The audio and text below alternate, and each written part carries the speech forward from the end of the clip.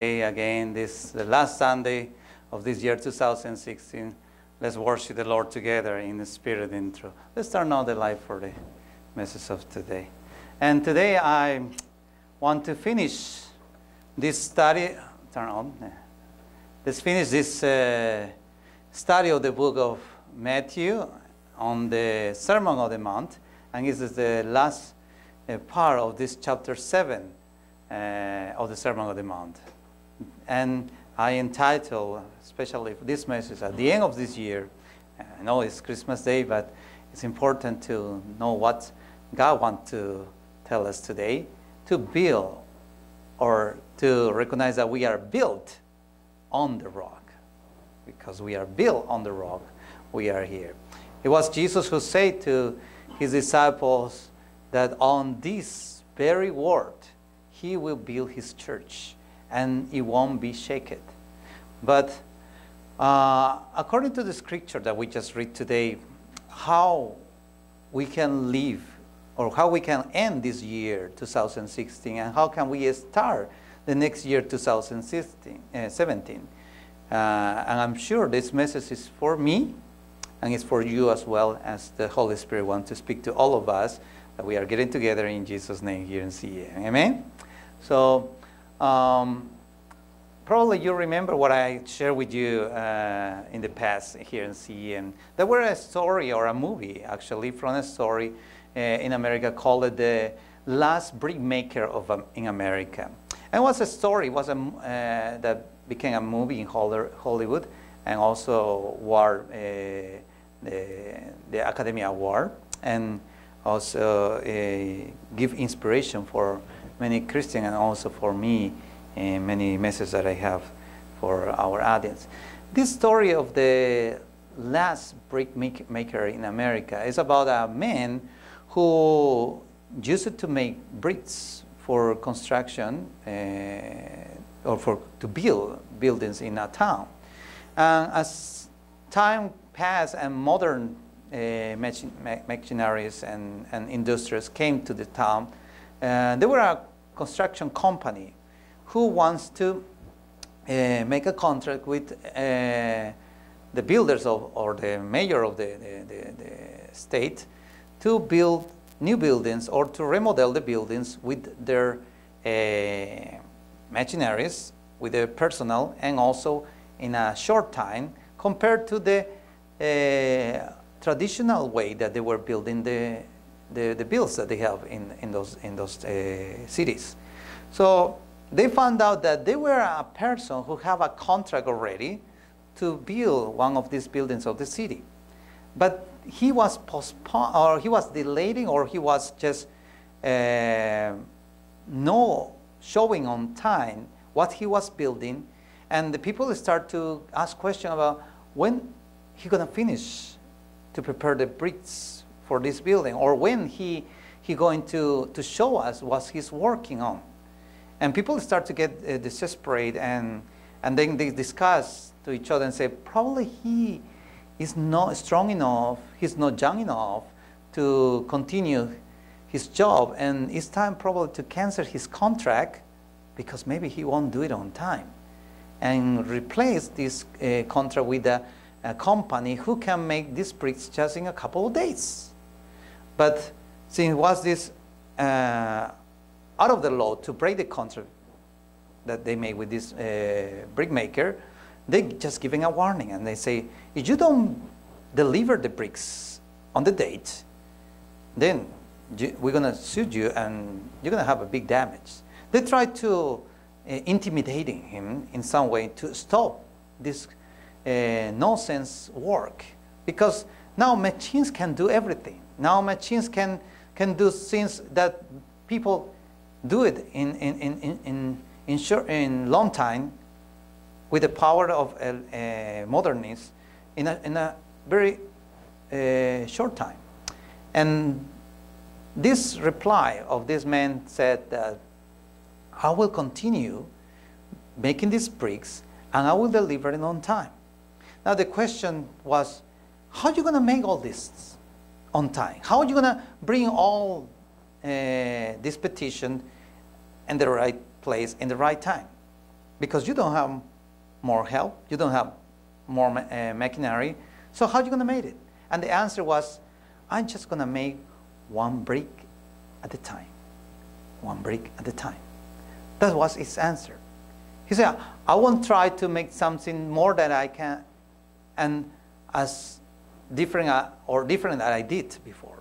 I will continue doing the bricks as I have done so far and in the same time as I've done so far. And don't worry about the, the, the date of delivering the bricks. You will have it on time. Of course, this, the story and the movie show that there were dram- dramatically uh, moments that the rain came on, on these uh, bricks and, and the, the first lot was destroyed. And he was uh, tried to mentor a boy who was a troublemaker in school, was an elementary student, and this, this boy uh, came to help him and also to, to be discipled by him, who also teaching him uh, Christian values, Christian pr- principle. And they finished the, the, the petition on time and they uh, continue uh, making bricks in the traditional way that they have done so far. Uh, of course, these days no one is doing like that, and there's no brick makers uh, analogically in, in, in, in America because of modern machineries and because people they want things sooner uh, than before. But what I want to say today that our ministry, your life, your business, your family, or whatever you try to build on your life so far, or you're planning to build the next year, have to be one step at a time. One step at a time. We don't need to hurry to do things that we cannot do, and we don't try to pretend to do things that we cannot do and make promises that we cannot keep, trying to impress people to be satisfied. But when the day come, when the day to evaluate, when the day to see the fruits come, we cannot keep our word. As I said the last week, many of us just focus on the fruit rather than to focus on the process, rather than to focus on the, the, the, the, the, the root that we have for bearing these fruits. Today, I have a similar message for you. And today, the scripture in the Sermon on the Mount it summarized once again what Jesus was taught the whole uh, sermon. And at the end of the chapter 7, Jesus again give us two things to compare. And we have here two build, buildings, or two builders, and two houses to compare and to evaluate. This year, 2016, that is ending, and the new year, 2017, that is coming. We have the contracts here, and we see a contract of the one who listen and practice the word of God, and we have the contrast versus the one who listen and not practice the word of God. We are coming every Sunday to listen a sermon. I'm sure that you come hungry and thirsty to listen and to have an encounter with God, and that's the reason you are faithfully come to see and every Sunday, and I appreciate and give thanks to God for that, and I pray for that. But it's not just to come and listen a beautiful sermon, an inspired sermon, but it's to go and put in practice every day in our life. That is my prayer. That is my, my, my time of preparation for every message for you. That in some way, this message is for you. And, and, and you need it. And you have to put it in practice to be blessed by God. To really experience the plans that God had for you. Plans not to harm you, but to prosper you and to give you a future. But without practicing, and only just listening what God said, we cannot see that we are in God's plan, and we cannot see that we are bearing the fruits of our relationship with God and the fruit of being here every Sunday listening God's word, God's message for our life. So we ha- see here again two things to compare.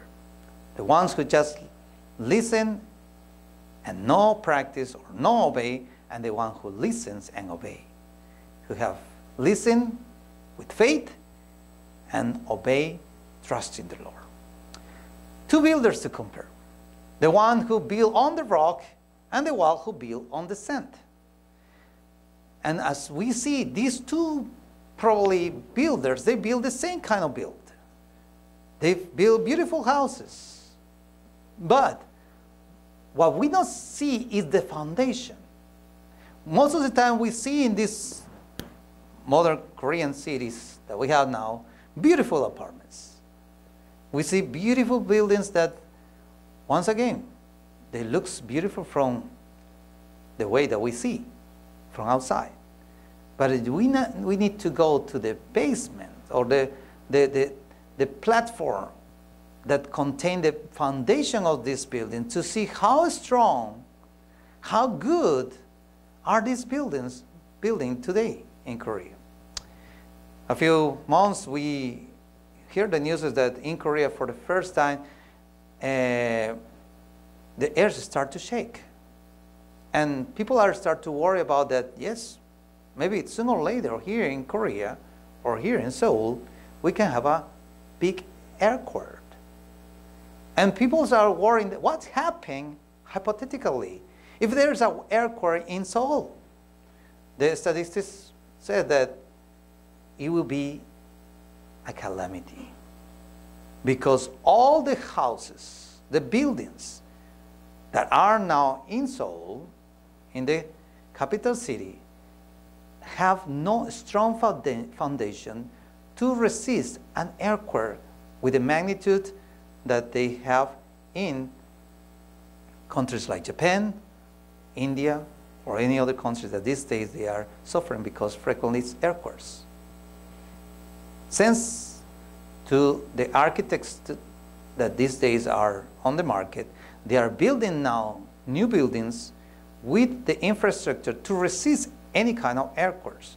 But doesn't mean that it's a guarantee that we're going to be safe if that really happened. But at least give us a hope that they consider that if air earthquake happened, they could resist in some way. Now, I'm living in an apartment that it has 37 floors. And my apartment is in the last floor of the building. So when those days there were news about the South of Korea having the earthquakes, I literally that very day feel in my apartment shaking. And it was shaking so no, uh, obviously that I could see everything just moving and dancing on my apartment. My wife didn't notice, but since I'm from Peru, and we have frequently earthquakes in Peru, so I feel it in, in, in a moment. And I saw the whole apartment just dancing with me. And I saw to my kids I said, wow, it was new for them.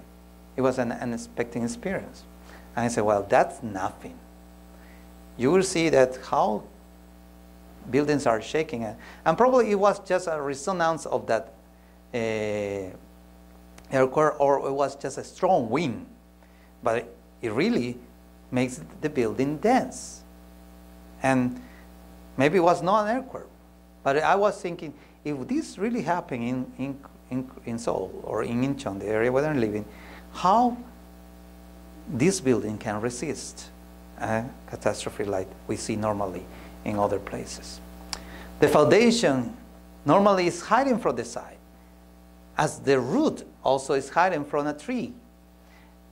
And as the scripture says, as we see the last week, by their fruits you will know them.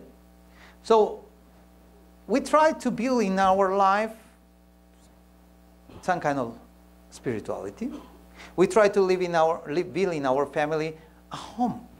We try to build in our business security and prosper uh, place to, to, to serve God and honor God. But sometimes we see our foundations are shaking it.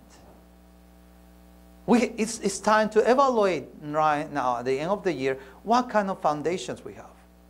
What is the, the foundations of your life, your business, your spirituality, your family that guarantee that the next year you're going to have a better year.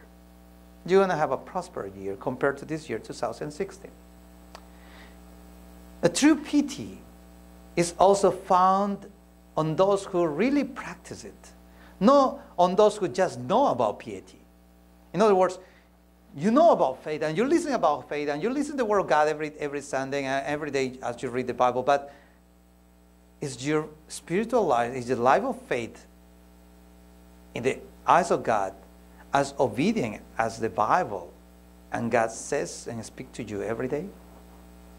Or it's just, okay, God, I know it. I, I got it. Now, I see you the next day or the next devotional time with more of your teaching. We are not here to just learn from God's, His will, and from learn, learn from God how to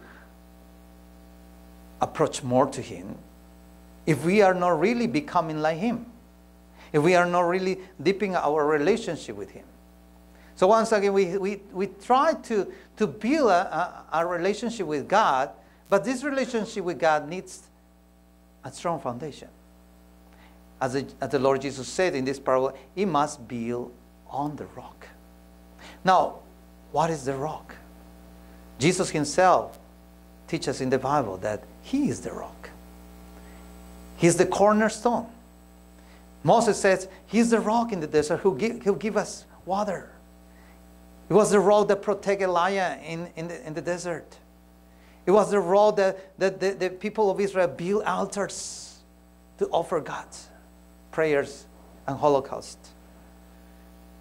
What is our spiritual life without Jesus? I mean, these days, religious in, in this world, many people say, yes, we are Christians. But it's just a name. Without having a relationship with Christ, we have intimacy with God. I come from a country where it's called a Christian country or Catholic country.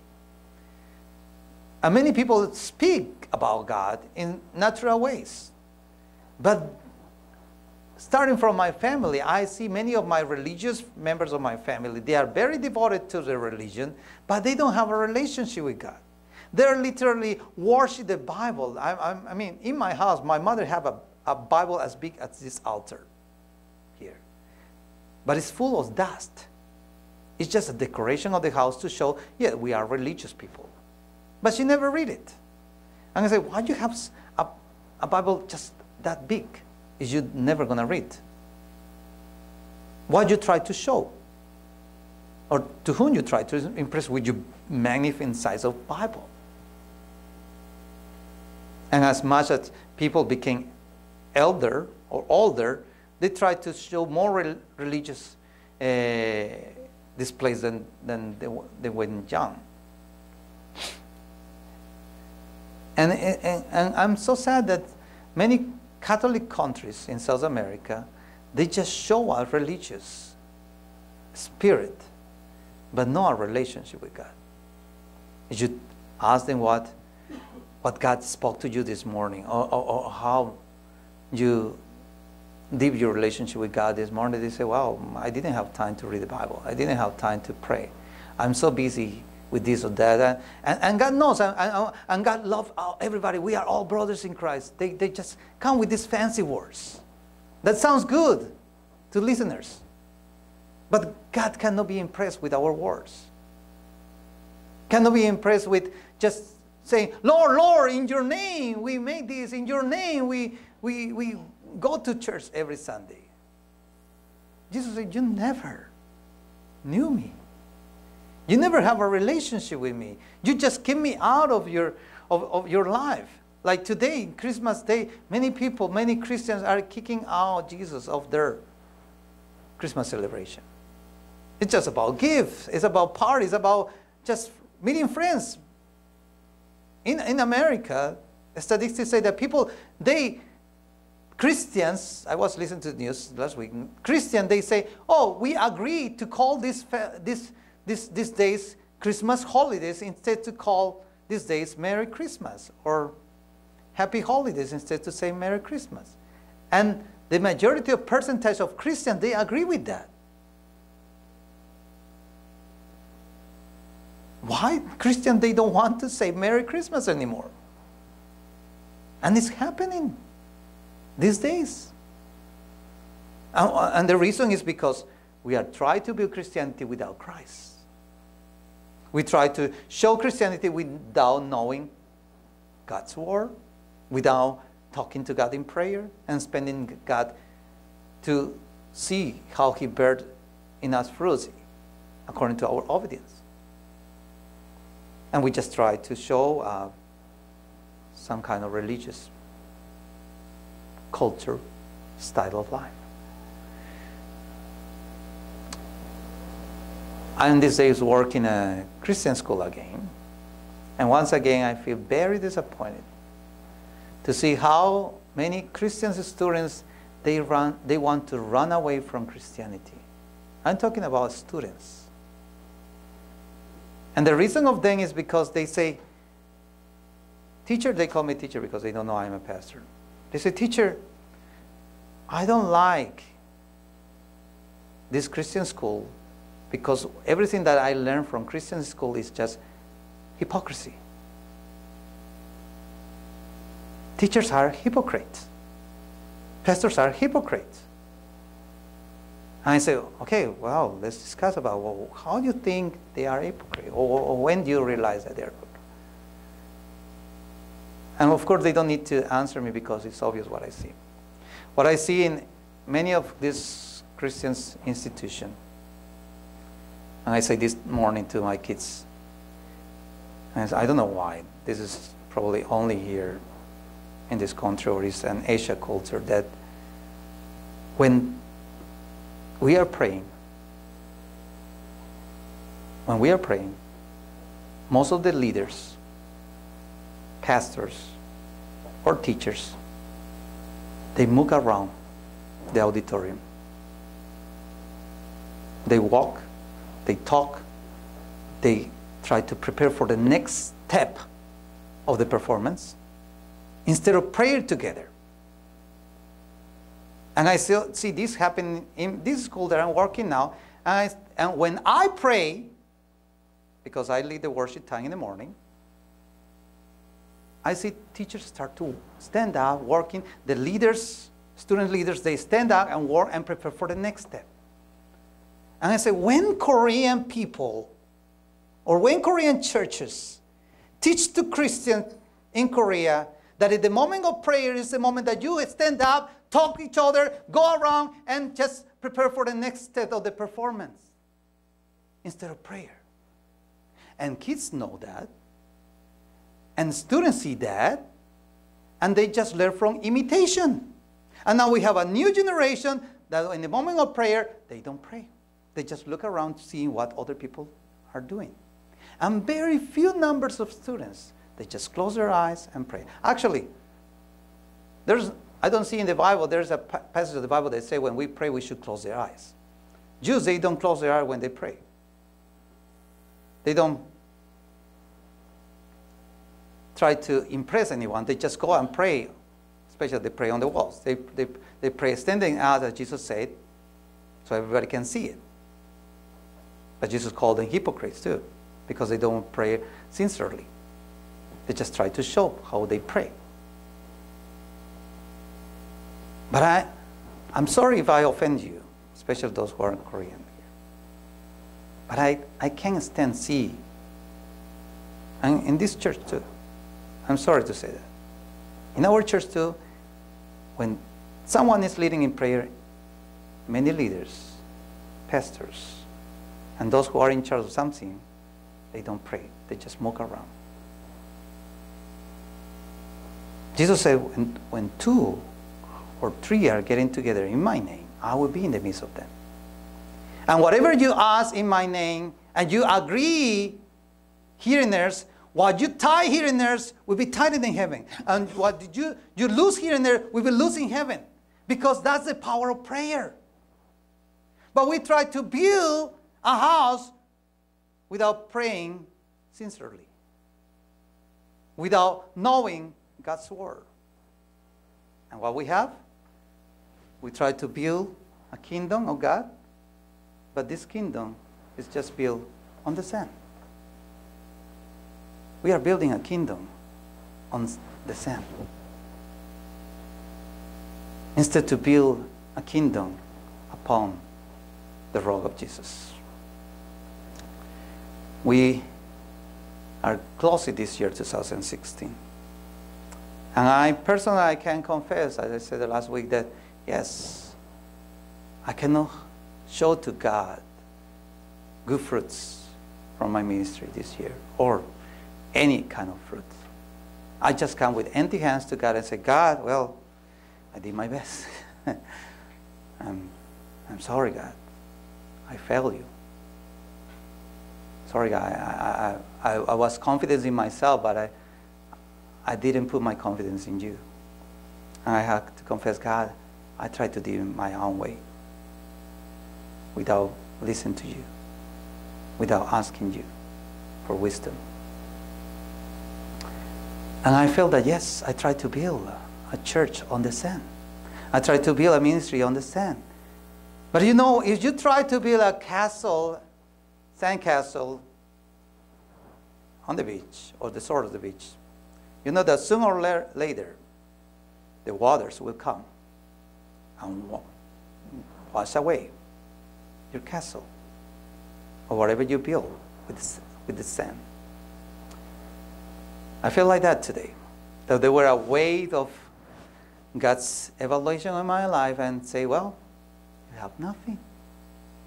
You have nothing. And yes, I feel that some way I'm in a collapse. I'm honest to you. I, I told you before. I'm, I'm, not trying to pretend I'm a holy pastor. I'm not trying to, to, to to tell you that everything's fine. We are successful. I am a successful leader. I'm a wise person here. I'm here to guide you. Follow me, my, my dear loving sheep. And, and, and, many people who hear this kind of leader, they don't want to follow. Oh, it's, it's a, a, fa a, failure. I don't want to be follow this, this failure leader. But from where I come from, let's call it humility or humbleness.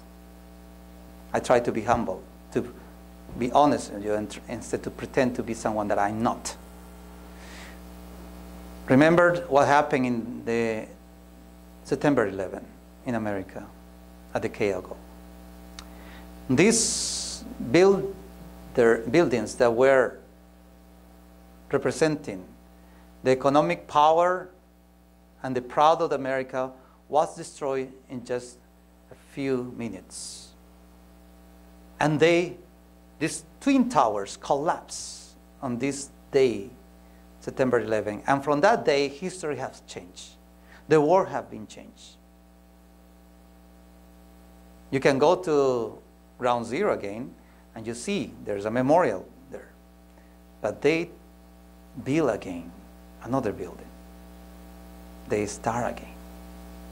This message is for those who feel like me that probably this year, 2016, you feel that everything has been collapsed. Your finances, your relationship with people, your relationship with your family, your health has collapsed. Your, your, your dreams have collapsed. And you have nothing to continue, or probably you feel exhausted now that you don't have more energy for one more day to live, or for one more year to serve the Lord and to have a relationship with Him.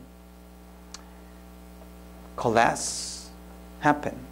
And I don't want to preach this sermon like many pastors that just focus on those who build on the rock. But I focus on this sermon and this message for those who have fell building on the sand. And if you feel like me that you have been fell building your house, your business, your relationship with God on the sand, this sermon is for you. The scripture said that the rain descended and if you analyze this, the rain descended from where? The rain descended from above. The scripture said that there were flood that came, and the flood came from below always. And there were winds to blow, and these winds came from across. So do you see, when collapses come, come first from above, then from beneath, and from everywhere. If you fell your relationship with God, everything will fail. If everything that you build without God, whatever you try to lift to God, it will come down from heaven again on your head and we will crush you.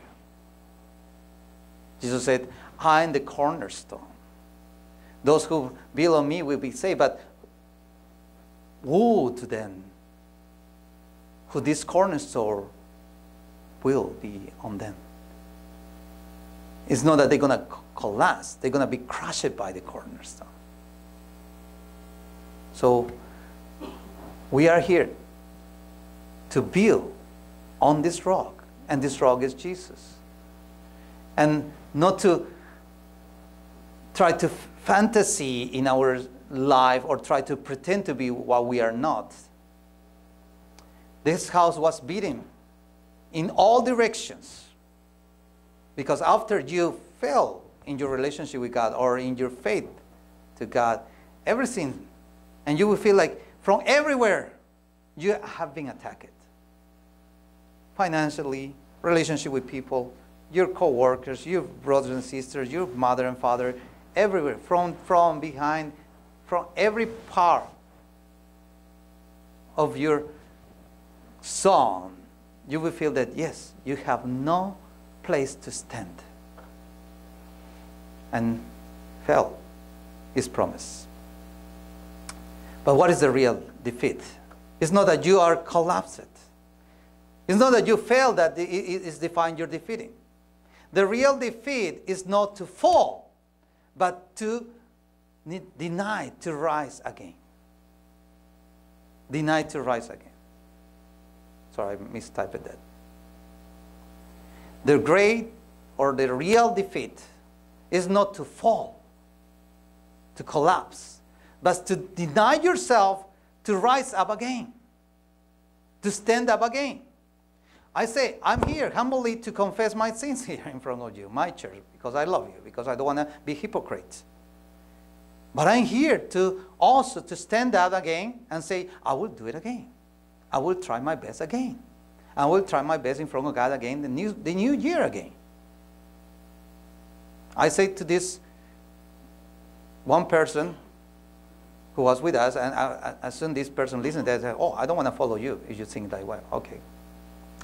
The doors are always open for those who want to come and are always open for those who want to go. I just try to be honest with you, frank with you, and not make promise that I cannot keep. But if we trust in God, and if we live for God together, sincerely, genuine faith, God promised His blessing to us. I believe that. I've been 20 years here in Korea, and I see God's faithfulness in my life. I believe God can do it again and He will lift me up again. He will raise me up again.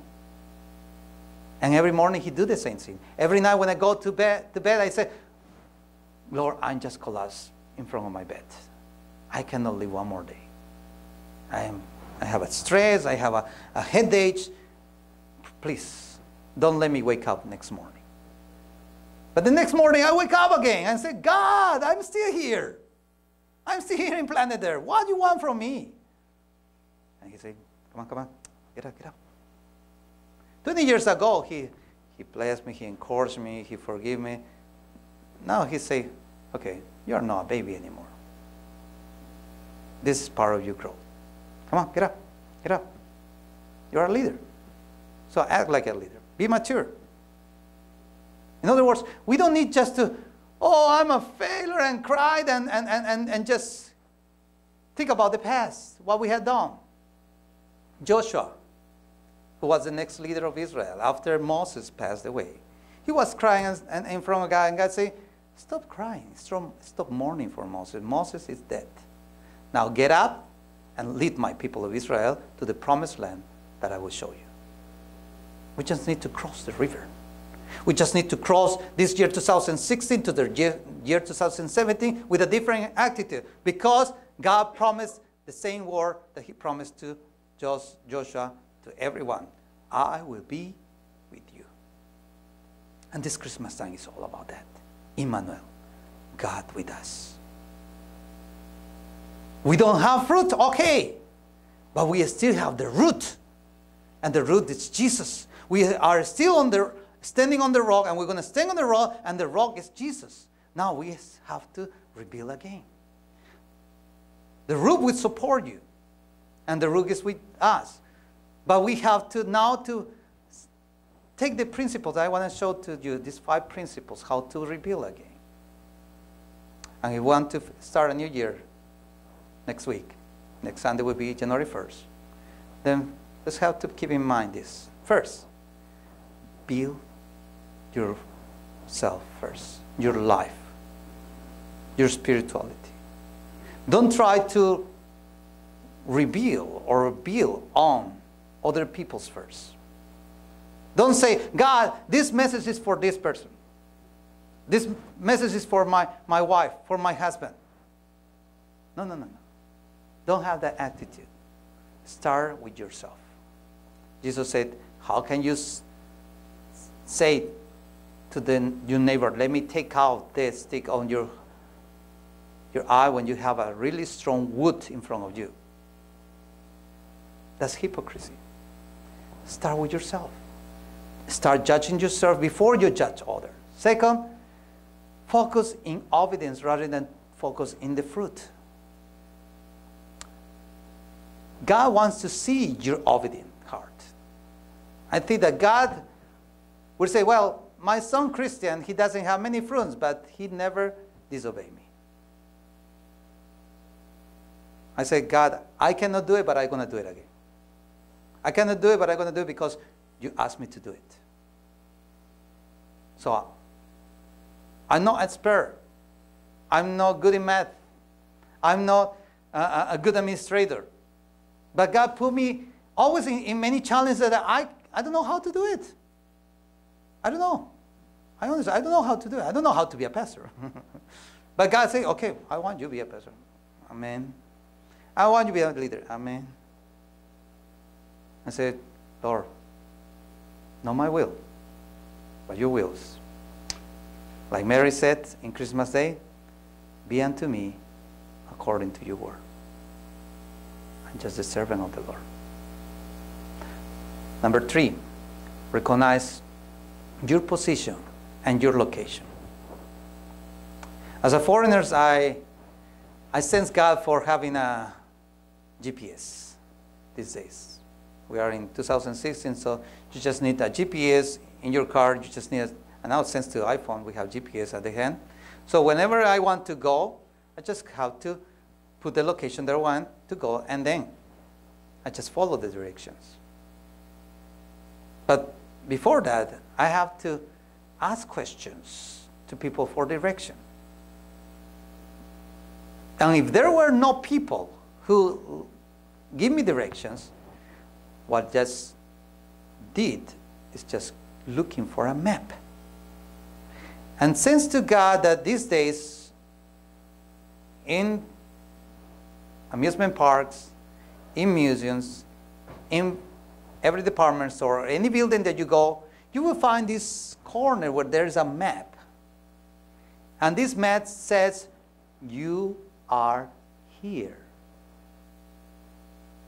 And since to that phrase I say, You are here, to let me know where I am in the building, where I am in the complex, where I am in this location, to give me directions for where I want to go.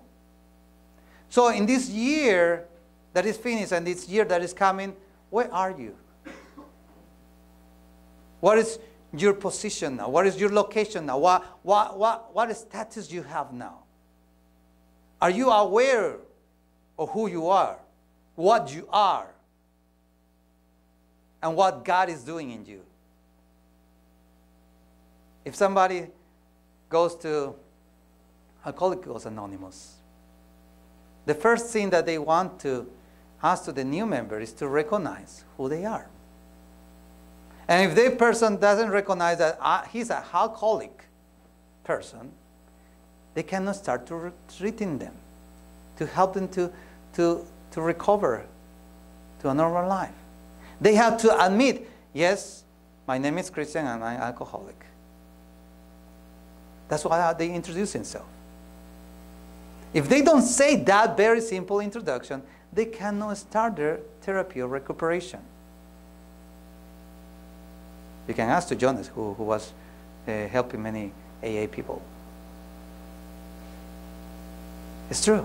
We have to recognize where we are in this year, in God's plan in our life, in our life that we have building so far, to continue building or to rebuild or to start again. God says today in His Word, You are here. You are here. Number four, commit to rebuild. It's not just to say, okay, I'm a failure, I'm done, God doesn't love me. Because that's what many people, many baby Christians say God doesn't love me. Or God doesn't love me anymore. No, God is faithful always. He's the same yesterday, today, and forever. He still loves you. And even though you fail, He's still with you. You just need to have a commitment to stand up again, to get up again, and walk with God again. Then God will guide you in the new year. Number five, take the initiative to repair. Don't blame other people and say, oh, it's because my parents, they make me like this. I just used to do that. blame my parents for why I am. Or, oh, it, it was this, this, this co-worker, it was this friend of mine that brought me in this situation. It wasn't my fault. I did, did nothing. In, in, in Christian counselor, counseling, many counselors, they, they have counseling with couples, husband and wife. And most of the counselors, they share this in seminars. They say, when you brought a, a, a, a couple for counseling, they say to this couple, to the wives especially, they, they, they have separate interviews, and they say to the wife, okay, in a scale of 1 to 10, how's your relationship with your husband? And most of the time, the women say, can I say zero? The scale is 1 to 10. But she asks, Can I say zero? Now they have the same interview with the husband and they say, In a scale of 1 to 10, how's your relationship with your wife? And the husband always say, Can I say 12? Can I say 12? Two people who are building a house together or a home together, who have a relationship together, they have different perspectives and different evaluation of themselves. They don't know where they are. They don't know where they are. For the woman, her home is a collapse. Not even level one, it's just level zero, ground zero. but for the husband, everything's fine. It's just all happy days. And that's why probably he speaks every night when he back home. This problem is frequently in our society here in Korea too. Many we are living in a dream without knowing who is living together with us. We have to take the initiative to repair, focus against what are our mistakes first before we judge others. How obedient we are, not just listening. How recognize we our position. When there were a, a, a, a new member of a church, uh, a young member of the church, and he, he was for a year in a church. And after a year, he came to the senior pastor and said, Pastor, why don't you make something for the next year to have a revival here in this church? Because I see in this church many people are hypocrites. Many people they are they are uh, talking against each other. Many people they are just no worshiping God as uh, uh, they should worship. They just they need a revival. So, how can we start a revival in this church? He asked to the senior pastor. Then the senior pastor he brought a chalk and came to this younger man and said, Can you please stand up? And he draw a circle around this man. And he say, as soon as the revival starting in this circle, it will start in this church. In other words, if the revival doesn't start with you, don't criticize a church for not having a revival. If a relationship with God is not deepening in you, don't evaluate the body of Christ for not having a deep relationship with God. Everyone needs to make an initiative, repair, the damage in your, in your life, starting with yourself, starting inside you. What needs to be repaired? What needs to be built again? What needs to be remodeling or reinforce it or try to make it beautiful? Not just masquerade. Don't be hypocrite.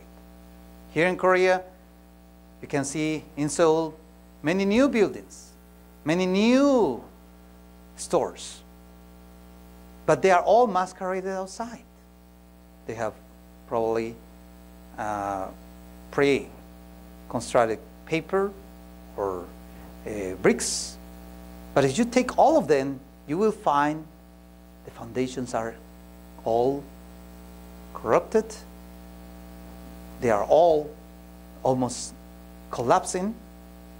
And as I say, according to the news, if that earthquake happened in Seoul, all this building will not fall and will be a great damage in Korea. We have to pray for God's protection.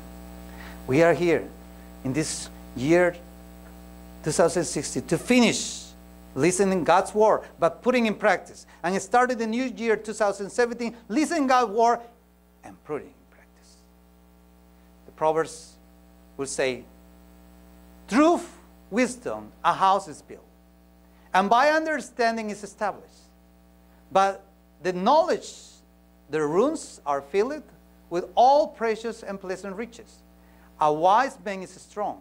Yes, a man of knowledge increase strength.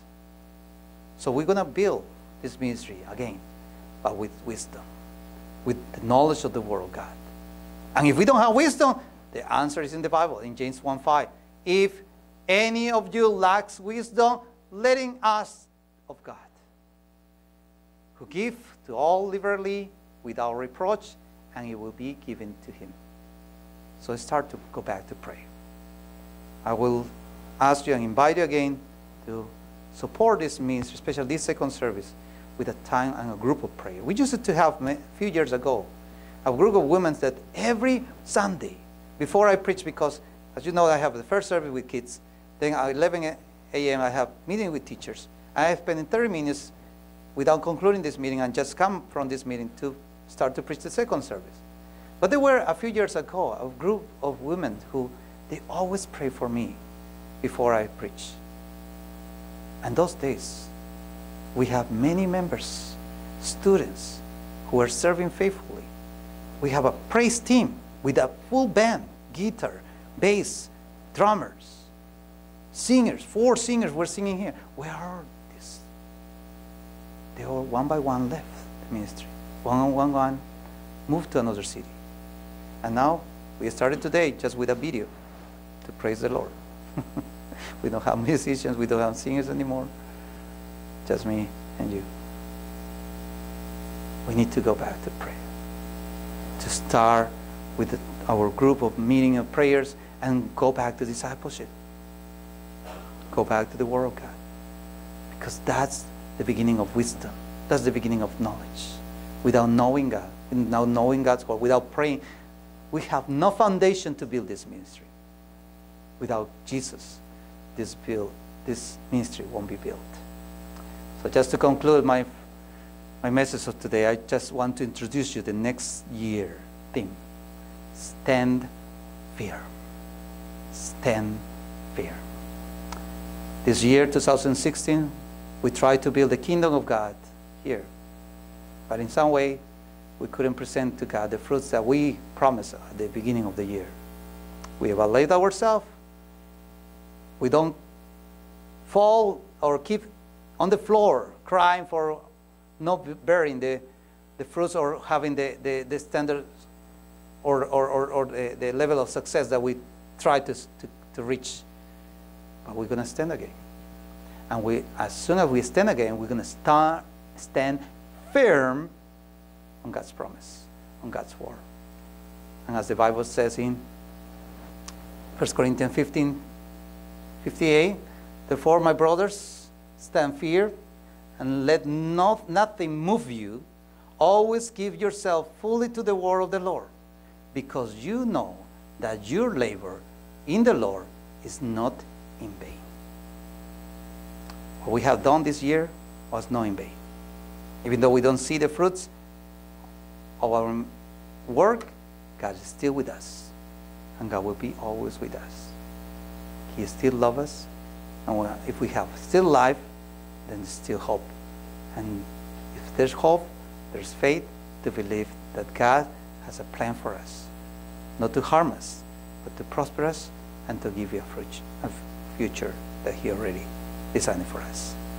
Whatever you want to build this year, 2016, 17, your business, your relationship with people, your, your home, your spirituality, build on Jesus, who is the rock. It's just tent on Jesus. He will lift you up. He will lift you up, and you will see the next year God's glory will fall again on this place in Jesus' name. Let's pray. Thank you, God, for giving us your message of today. Lord, we many times try to